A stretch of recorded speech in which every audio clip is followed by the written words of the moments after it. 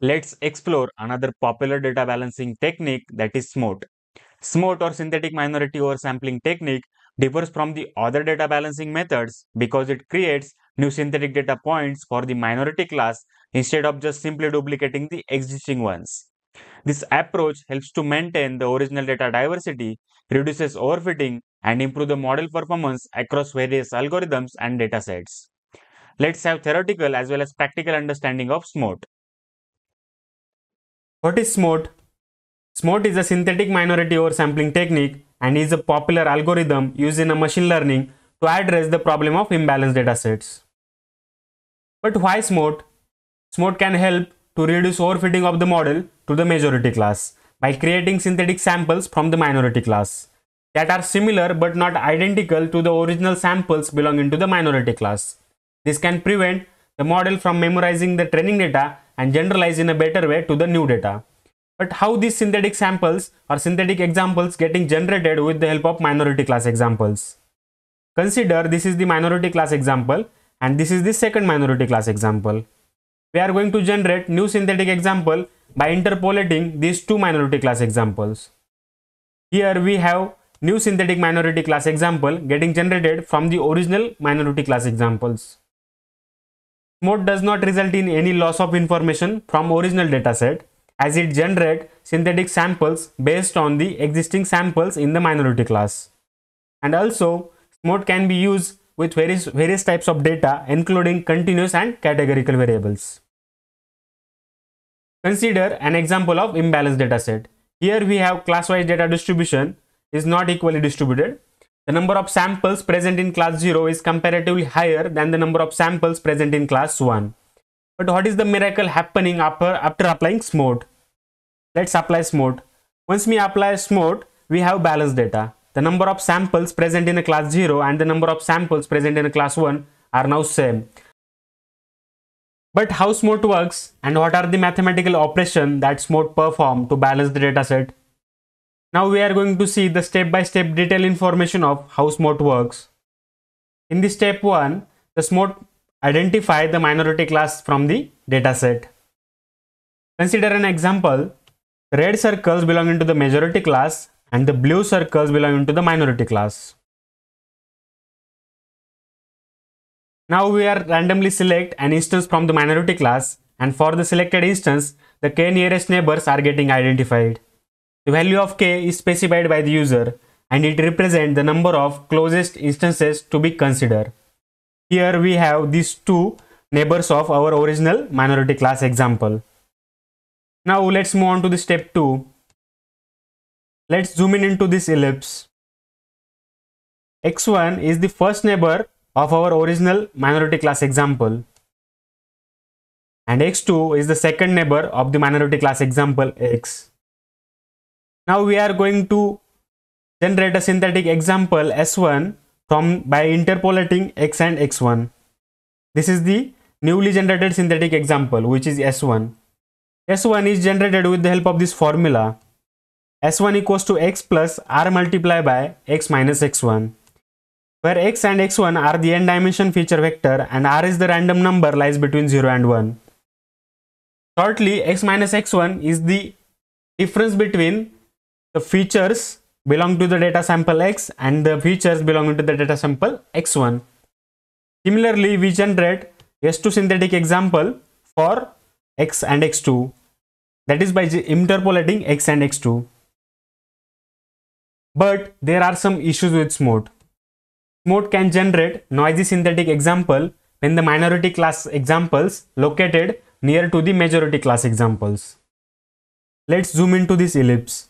Here x and x1 belong into the minority class and x2 belong into the majority class. S1 is a synthetic data example generated by interpolating two minority class example x and x1 and S2 is a synthetic data example generated by interpolating x and x2. Here x2 is a majority class example. By interpolating minority class example which is x and the majority class example x2 S2 is a not good representative of our minority class examples. Here we have two synthetic examples. This also happens when there is a overlapping between minority class instance and the majority class instance.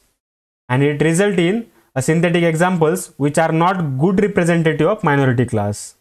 Here we can see S2 is a not good representative of minority class because it is generated by interpolating minority class example X and the majority class example X2. To address these issues with SMOTE, we have extension of SMOTE which is borderline SMOTE. Borderline SMOTE divided into two parts. It work with borderline minority examples as well as non-borderline minority examples. Consider a data set.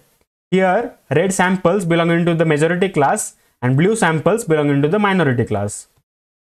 These are the borderline examples and these are the non-borderline examples we are applying operations performed in traditional SMOTE on the non-borderline minority examples and we apply borderline SMOTE on the borderline minority examples.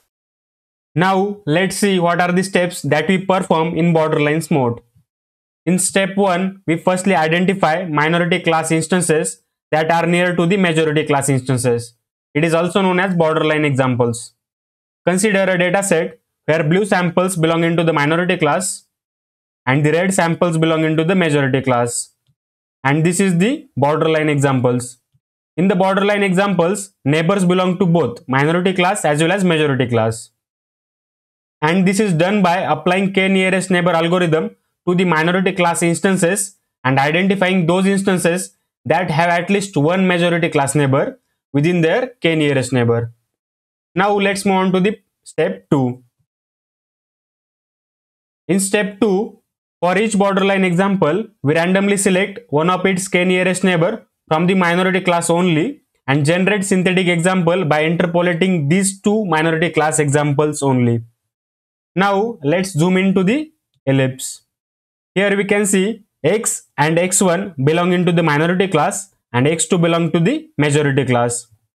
We generate s1 with the help of x and x1 that is by interpolating x and x1 with this formula s1 equals to x plus r multiplied by x minus x1.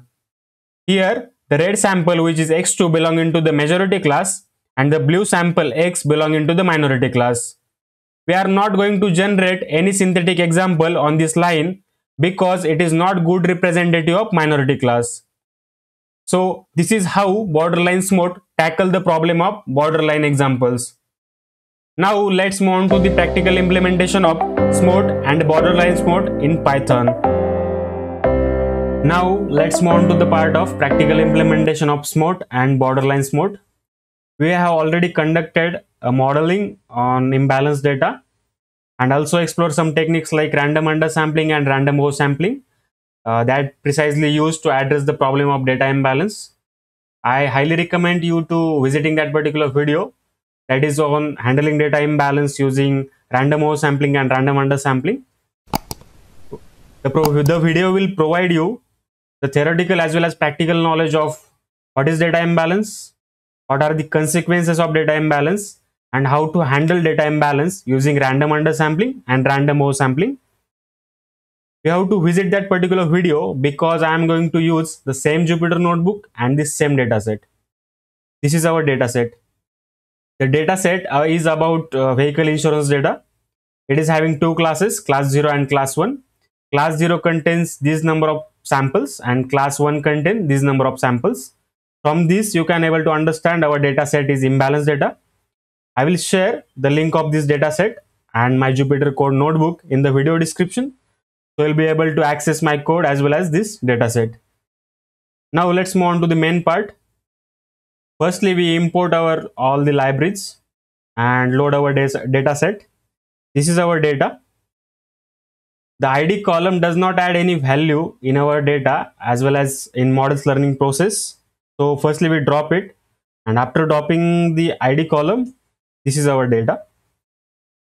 And uh, these are the number of samples belonging to the specific class. Uh, this is the class distribution. And from from bar graph you can able to understand our data set is an imbalanced data. And again uh, our data set contains some categorical variables. So firstly we convert it into a number form with the help of label encoder. I have already explained this part in the uh, video on handling data imbalance using random undersampling and random oversampling. So please visit that particular video. We are going to use this particular architecture that is artificial neural network architecture and this is the function that we use uh, for evaluating our model. So let's run this and again we load our model architecture with the help of this. Now let's move on to this SMOTE part. Before that I will uh, uh, show you some results of previous models. These are the re uh, results that we obtain uh, from the models that we train on the original imbalance data. You can see these are the quite worst result. And again uh, we perform some undersampling on the majority class. And after that we have these results. These are quite good results. Again uh, we perform random oversampling. And we found these results. Here you can see uh, the F1 score uh, after performing random undersampling and random oversampling uh, these are quite good in number. Now let's move on to this SMOTE. Firstly we see our data. Uh, we have to run this part because we haven't encoded our uh, categorical variable. Then our data is look like this. So now let's load our data this is our data uh, now the gender column and vehicle age and vehicle damage column is now in number form let's uh, segregate the explanatory variables and the target variable the target variable is response variable and the remaining uh, variables are the explanatory variables. Firstly, we segregate these two variables and after it, uh, we split it into a training and testing part. 80% is a training part and 20% is a testing part. We use stratify as a uh, equals to target variable because we want equal distribution of uh, each classes in uh, training data as well as testing data. So let's run this cell now we import SMOTE from IMBlearn package. It is a part of Python packages. Uh, here you can see the SMOTE. The uh, you have to just search IMBlearn on Google. Uh, you can able to access all about its documentation. Here you can see uh, in the user guide, you can able to access about uh, SMOTE, everything about SMOTE now let's move on to the main part. Here uh, we import SMOTE and again uh, we load SMOTE like this. We have to pass two arguments that is sampling strategy and k neighbors uh, I have put it, it here 10 and the sampling strategy is minority because I want to perform oversampling on the minority class. And again uh, we resample the X train and Y train because we are going to perform more sampling on the training data itself not on the testing data. So let's run this cell. Now let's see the uh, class wide data sample counts. Here you can see the class 1 and class 0 contains a same number of samples now again we are going to normalize our data that is xtrain and xtest data, data with the help of min max scaler so let's run this now we are going to train our model with the help of this xtrain and ytrain. So let's run this cell. Here we are going to use batch size is about 32 and number of epochs is 5. The model training process will take some time. So we'll meet after 5th epoch. Now our model training process is done. Let's take an inference on the testing data with the help of this nn.predict. nn is our model after that we round it up uh, we are going to round up our probabilities let's run this and now we are going to see our uh, model accuracy with the help of this measure underscore accuracy function that we defined earlier let's run this here you can see the f1 score is quite good for both the classes and also number of misclassified example for the minority class which is class 1 is very low in number so after performing SMOTE, uh, we have good results. Now let's move on to the another part, which is borderline SMOTE. So let's load our data. This is our data. again we are going to uh, split it into two parts that is training and testing. The same process that we have done in the SMOTE now import borderline SMOTE from the same library which is imblearn and again resample our training data because we are not going to resample our testing data. Now let's see the number of counts uh, label wise counts in our training data set these are the number of counts that we have in our training data. Now again we are going to normalize our training and testing data. Uh, we are going to normalize only explanatory variables not the target variable because because it is wrong. So we use min max scaler for normalizing our data. So let's run this. After that, we are going to train our model on X-train and Y-train. We have used batch size 32 and number of epoch 5. So let's run this. This model training process will take some time. So we'll meet after uh, fifth epoch. Here our model training process is done. Now let's perform prediction on the testing data with the help of this nn.predict. So let's run this.